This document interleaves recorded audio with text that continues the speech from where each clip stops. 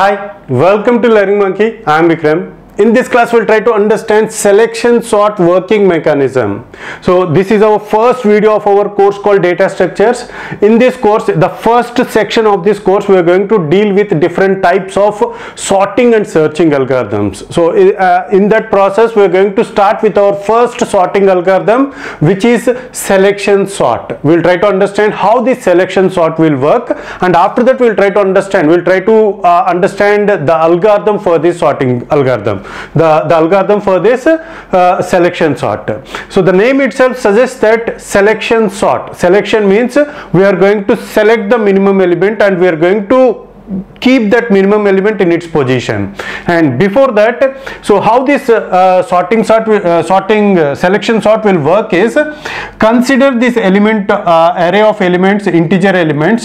So uh, how this selection sort will work is it is going to divide this entire array into two, two halves.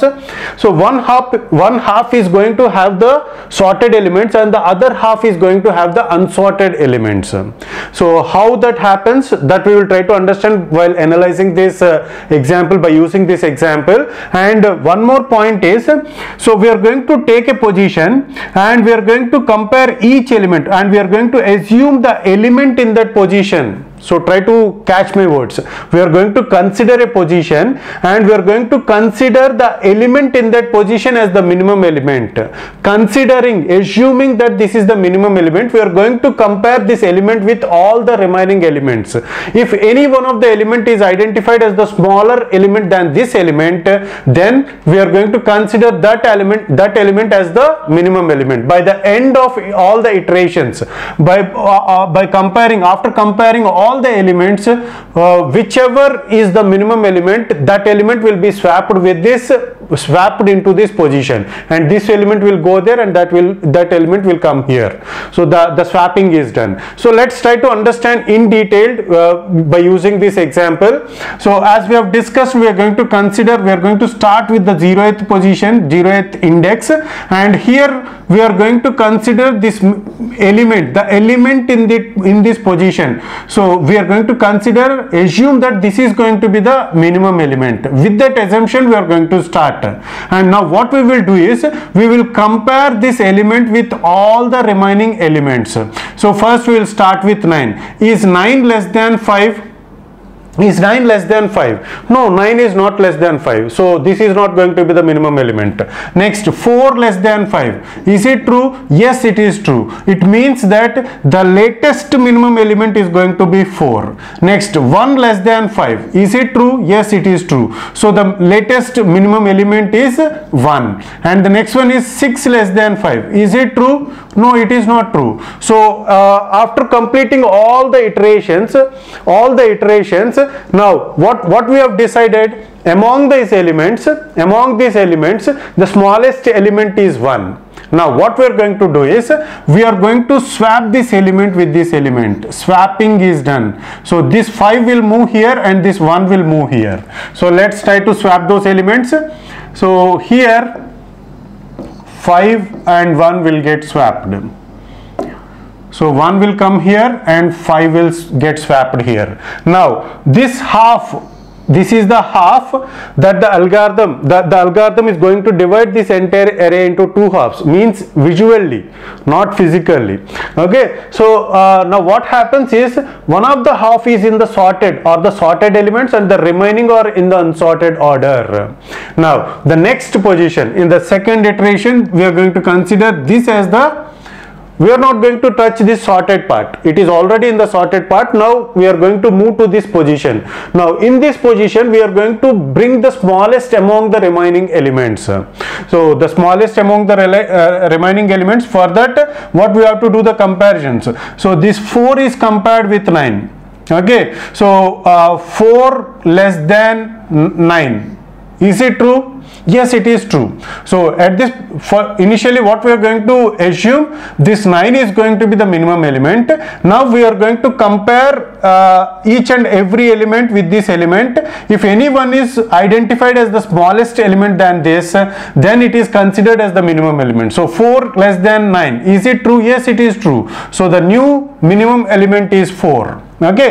Next 5 less than 4 is it true? No it is not true. And next 6 less than 4 is it true? No it is not true. So the minimum among the remaining elements is 4 now 4 and 9 will get swapped.